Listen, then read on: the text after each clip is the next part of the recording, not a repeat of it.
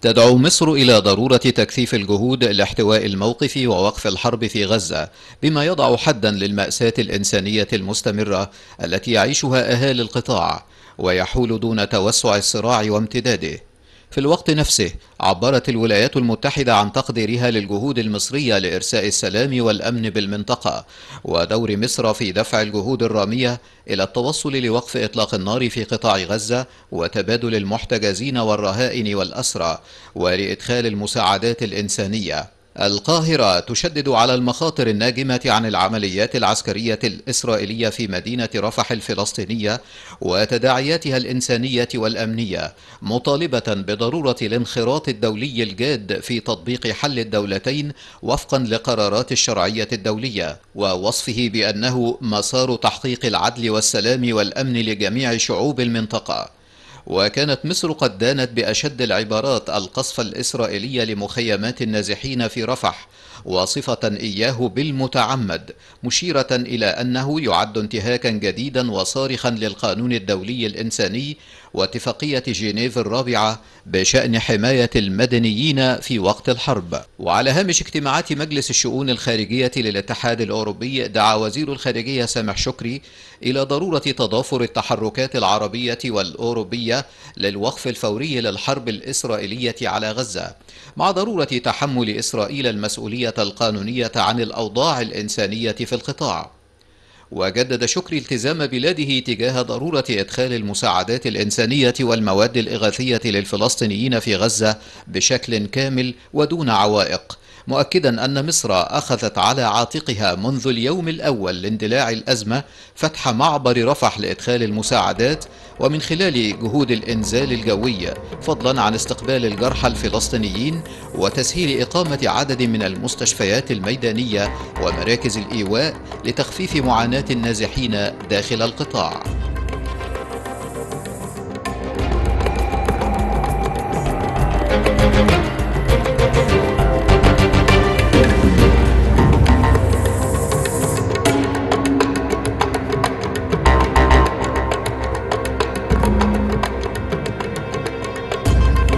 أهلا بحضراتكم على الرغم من تراجع التفاؤل بالتوصل إلى صفقة لتبادل الاسرى وإعلان وقف إطلاق النار في قطاع غزة إلا أن مصر يعني قامت وما زالت مستمرة في دورها المحوري في إيجاد حل لهذه القضية وحصول الشعب الفلسطيني على حقوقه المشروعة منذ اندلاع الحرب الإسرائيلية على القطاع في السابع من أكتوبر الماضي. يمكن هذه الجهود تأتي من خلال مفاوضات ما بين الأطراف بصورة مباشرة وبصورة غير مباشرة. هل المفاوضات هذه المرة تأتي بثمرها ويتم وقف إطلاق النار ما بين الطرفين.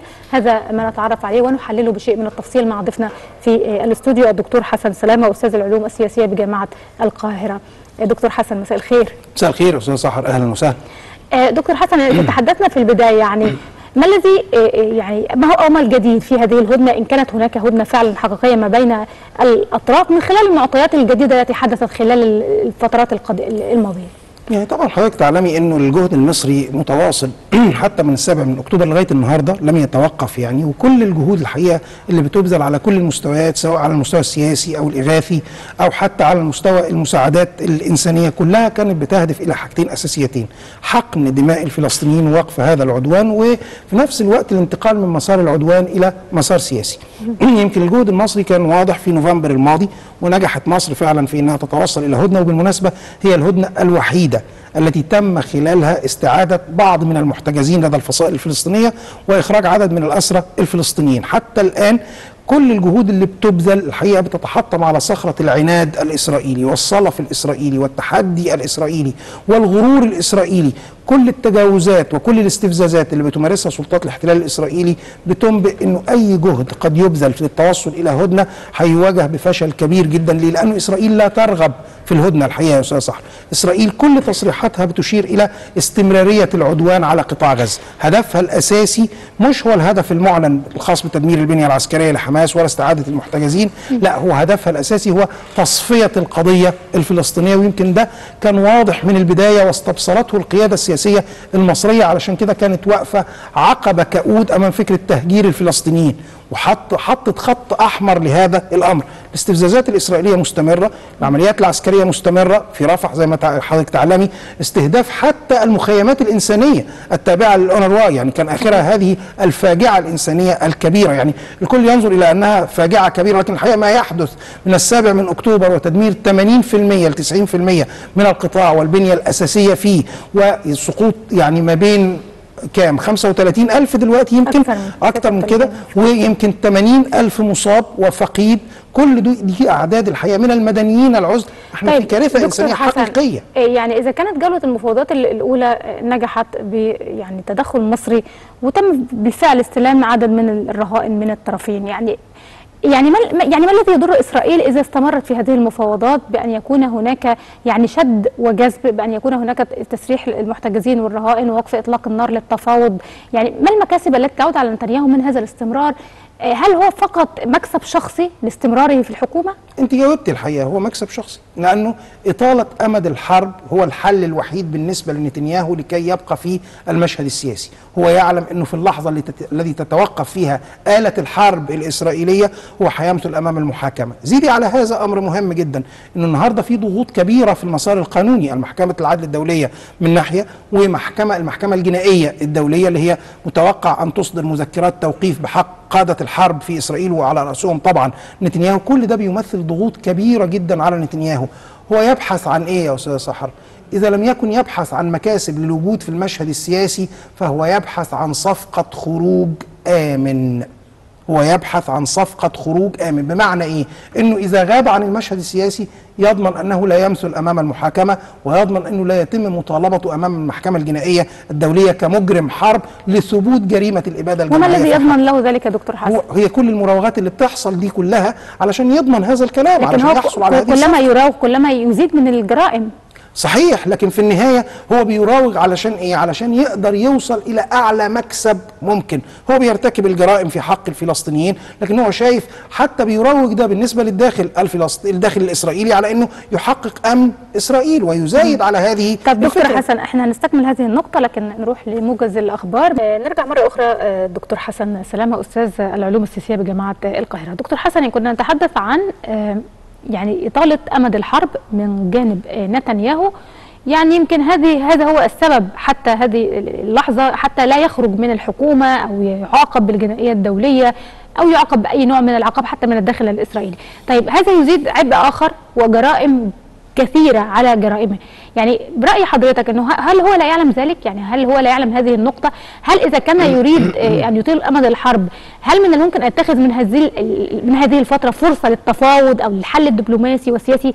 ممكن أن يخرجوا من هذا المأزق؟ والله سؤالك مهم الحقيقة يا أستاذ سحر إنما السؤال الحقيقة ده يوجه حينما نتحدث عن شخص بين قوسين رشيد شخص عقلاني يعني بيعقل الأمور ويزنها بميزان جيد. هل تعتقدي إنه نتنياهو هذا الشخص؟ نتنياهو أثبت أنه عنيف أنه متطرف أنه عنيد أنه لا يفهم شيئا أنه يزايد لمصالح شخصية. كل هذه السمات الحقيقة توصلنا للنتيجة اللي إحنا فيها نتيجة إطالة أمد الحرب. لكن اللي حضرتك بتتكلمي عنه ده؟ ده يكون مع شخص يزن الأمور بميزان جيد. ما يحدث حتى الآن من يعني استهداف المدنيين استهداف البنية التحتية لقطاع غزة تمام؟ هل هذا يعقل؟ الكارثة الإنسانية دي كلها خرجت عن حدود حتى الأهداف المعلنة. حتى لهذا العدوان سواء كان تدمير البنية العسكرية لحماس أو استعادة المحتجزين. حتى اللحظة لم يحقق أيا من هذه الأهداف. لا هو دمر البنية العسكرية لحماس بدليل أن هو بيعود مرة أخرى في عمليات عسكرية في الشمال وفي الوسط وهي المناطق التي قيل إنها تم تطهيرها بين قوسين من عناصر حماس. حتى اللحظة لم ينجح في استعادة إلا جثث. جثث. المحتجزين لدى الفصائل الفلسطينية والذين قتلوا بنيران إسرائيلية نتيجة العدوان والقصف الإسرائيلي على الأهداف المدنية الفلسطينية على تدمير حتى البنية التحتية اللي بتحول القطاع كله إلى بقعة غير صالحة للحياة. كل ما يشهده نتنياهو الحقيقة هو محاولة ما يفعله حتى اللحظة هو محاولة لامتصاص حالة الغضب العالمي.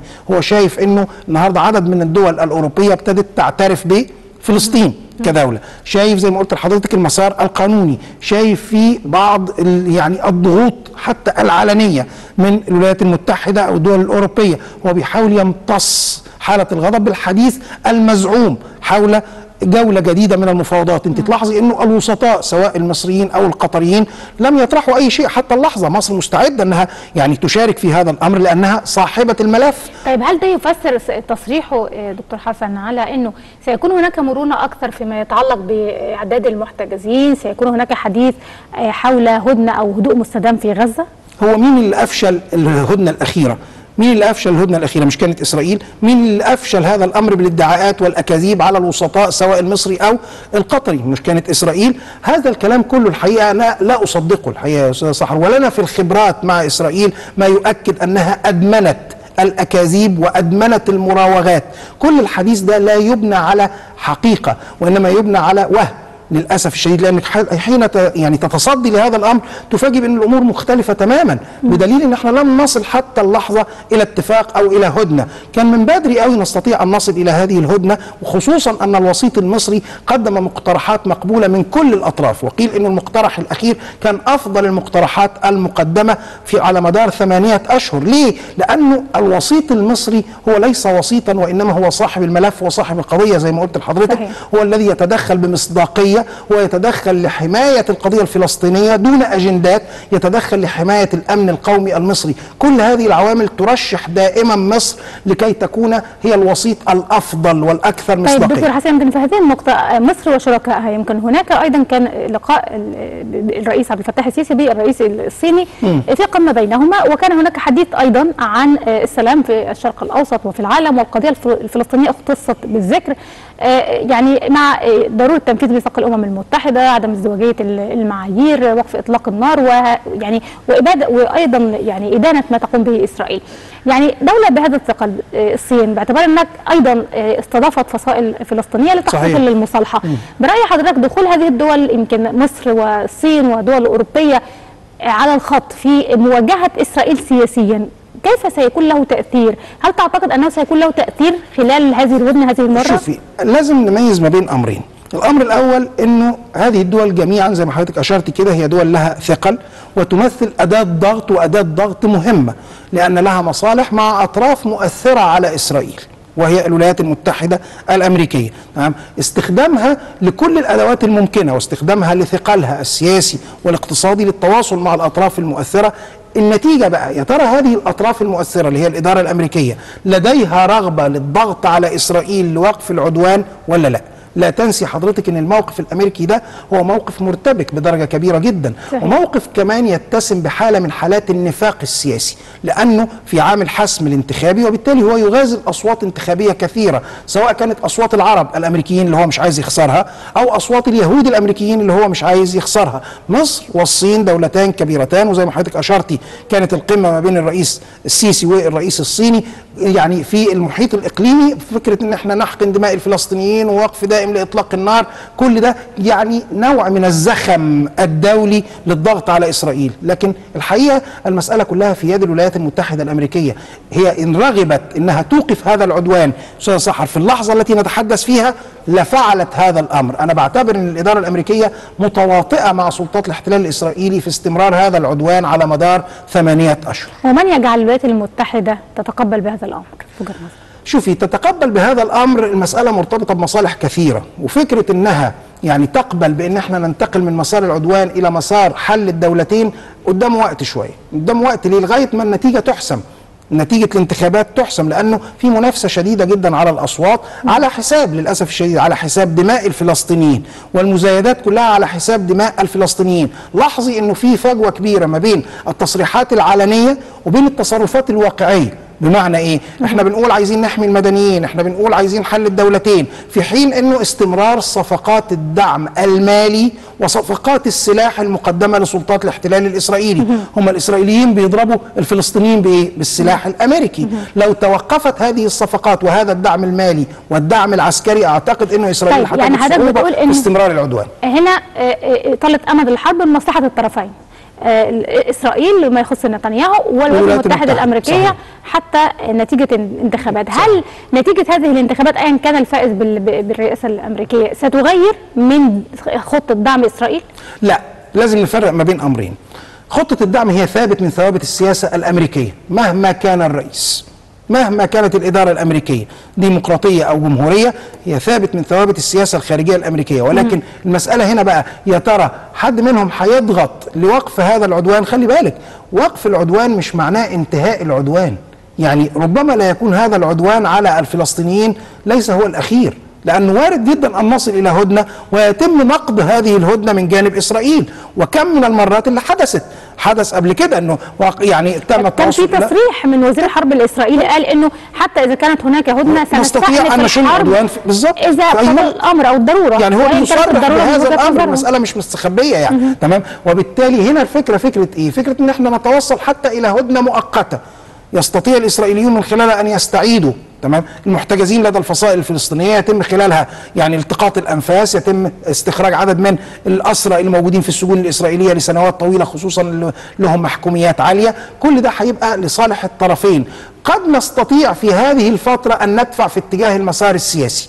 في اتجاه فكرة حل الدولتين لأنه هناك إصرار من الإدارة الأمريكية على أنه فكرة الدولة الفلسطينية لا تتم إلا عن طريق التفاوض المباشر ما بين الفلسطينيين وما بين الإسرائيليين. طب ما نوقف الحرب؟ يعني نوقف هذا العدوان أولا لأنه لا يمكن أبدا أن تتم مفاوضات تحت النيران التغير الديموغرافي والجغرافي للقطاع حل الدولتين سيكون بأي شكل؟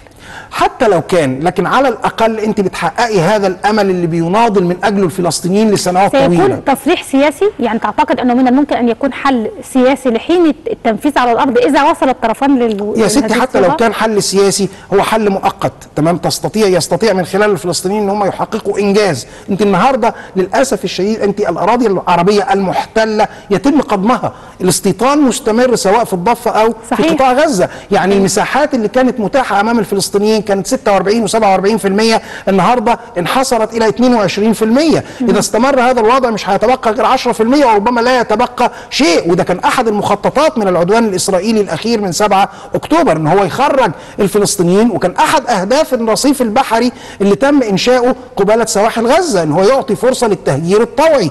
يعني المخططين كانوا يسيران بشكل متوازي. فكرة التهجير القسري وفكرة التهجير الطوعي.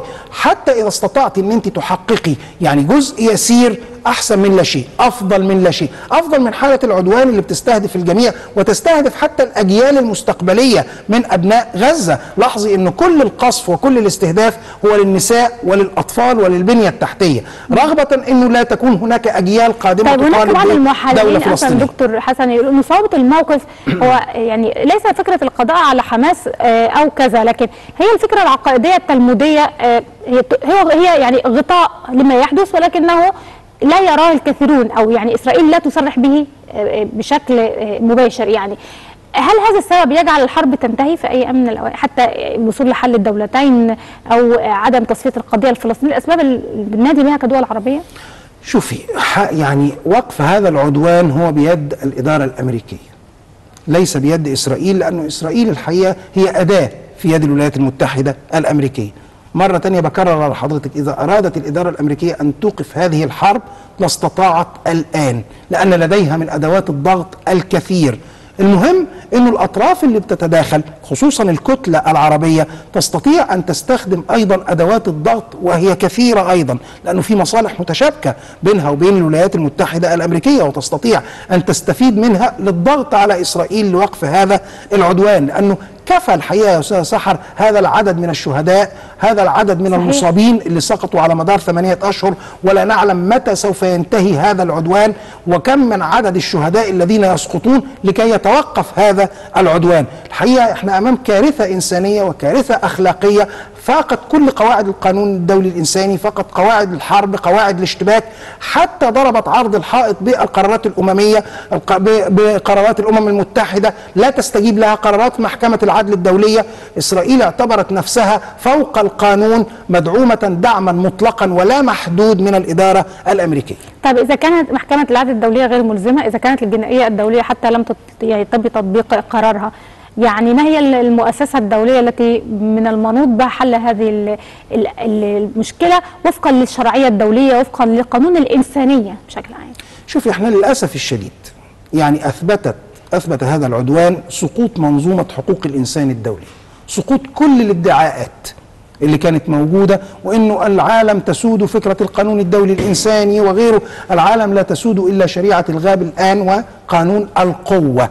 هو ده هو ده ما تريد أن تثبته سلطات الاحتلال الإسرائيلي وده الثابت الحقيقة. إنه دليل مجلس الأمن بقراراته كلها. يعني لم تنفذ، محكمة العدل الدولية قراراتها غير ملزمة وتضرب بها إسرائيل عرض الحائط، اذا لا يوجد تنظيم دولي يستطيع أن يفرض على إسرائيل وقف هذا العدوان، منطق القوة فقط والقوة الغاشمة هو الذي تفهمه إسرائيل.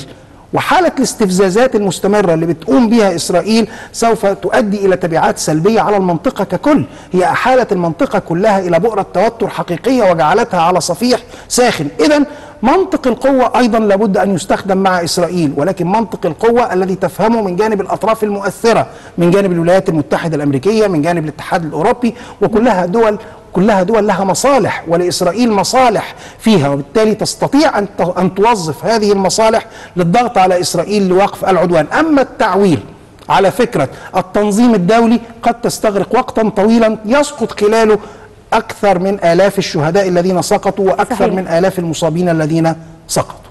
صحيح بشكرك شكرا جزيلا الدكتور حسن سلامة أستاذ العلوم السياسية بجامعة القاهرة شكرا. على هذا الحوار مشاهدينا الكرام حوارنا الآخر بعد هذا.